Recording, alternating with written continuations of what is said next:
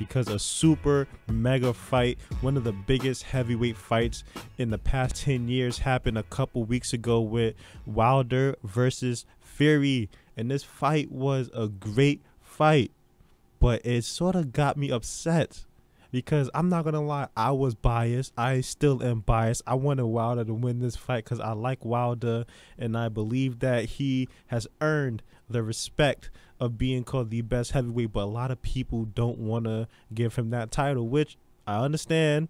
But I think he's the best, and I wanted him to win this fight. Also, within this fight, Tyson Fury, he actually fought a really, really good fight, and he was very impressive. He got my respect and I am a fan of him now. I will definitely watch and support his career going forward because I like him now. I didn't like him in the past, but just seeing what he did in this fight, I really do like him now, and he's really a stand-up guy, respectable guy. He's just a likable person, and I'm a fan now. But some things that happened in this fight were really good, like Tyson Fury, how he kept countering every single time Wilder threw his big right hand. He would literally duck the jab, then just slip the right hand and come back with a nice two piece every single time. He did that for at least eight rounds of the fight. And Deontay Wilder didn't follow the game plan that his coach and his trainer set up for him. He didn't follow the game plan. He let his emotions and his want and his greed for the knockout take control of him, and he didn't follow the game plan. But he did get two great knockdowns within his fight. The first knockdown, Tyson Fury, he did feel. He got up, he recovered from it. The last knockdown was a little controversial, the one in the 12th round, because watching the fight live, and I saw Tyson Fury go down. The way he fell down, he it looked like he was out of there. But somehow, some way, he got up, and that's through his championship spirit. He got up. But I will also admit that while watching it live, I noticed the ref finished his 10 count, but he just he didn't call the fight off. I did notice it. He still gave Tyson Fury like two or three seconds after he finished his 10 count to get up. So that's it's a little controversial and you can technically say that Wilder technically won the fight because of that, and it should have been a 10 count, and the fight should have been over after that. But things happen, and I guess the ref he felt that Tyson Fury he deserved like a second chance in the fight. But if you take that aspect away from the fight, if you take the aspect that the ref gave Tyson Fury a few extra seconds to get up, you take that away, Tyson Fury won this fight. He really did. I don't know what I, I was more upset at. I don't know if I was more upset at the fact that Wilder he fought the same fight he did against Luis Ortiz, where Luis Ortiz was beating him in rounds. The same thing he was doing against Luis Ortiz, where Luis Ortiz was beating him in rounds, is the same thing he did against Tyson Fury, and Tyson Fury was beating him in rounds. Or the second thing I'm mad at is that after the fight's over and I'm past the knockdown now with the ref and the con I'm past that now. And then they call it a draw and I'm like me being the honest guy I am, I'm I'm not gonna lie, Tyson Fury they kinda robbed him a little bit. I'm not gonna say they outright robbed him, but I say just a little bit because I had Tyson Fury winning by I think uh, two points. I had him winning by.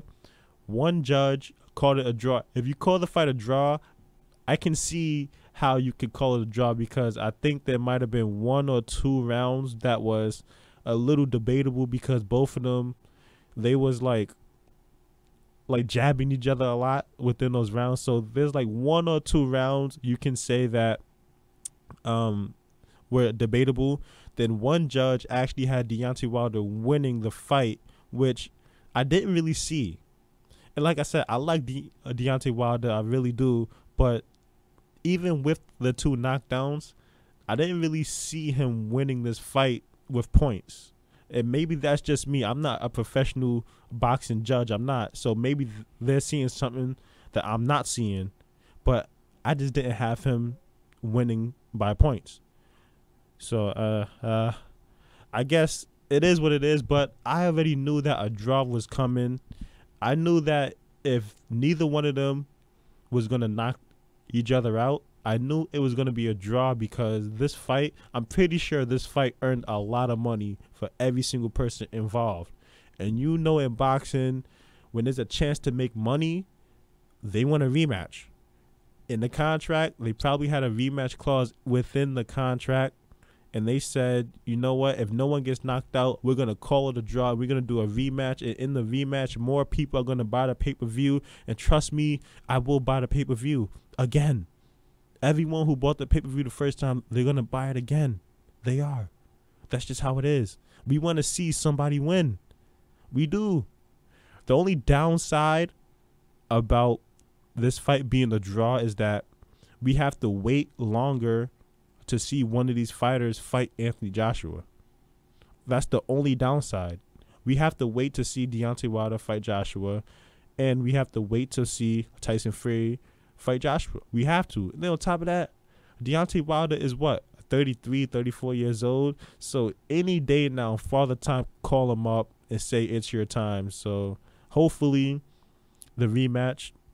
Well, they already announced the date for the rematch. It's on February 2nd.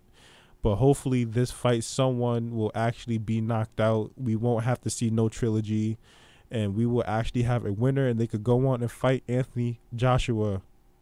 Another great thing that happened from this fight was this Deontay Wilder meme. Oh my gosh, it's like the funniest meme in I've seen in like the past few months where Deontay Wilder is screaming till this day, till this day, till this day. That meme is too funny. If you haven't seen it, just go on Instagram. It's everywhere. That's so funny. Warrior. I managed to finish the fight with a strong showing at the end, with Wilder too tired to put him down again. On Showtime scorecards and on social media, many were impressed by Fury's comeback, and from my personal opinion, it seemed as if he had done enough to win the fight. But the scorecards read 115 to 111 Wilder, 114 112 to Fury, and 113 113, meaning the fight was a split decision draw.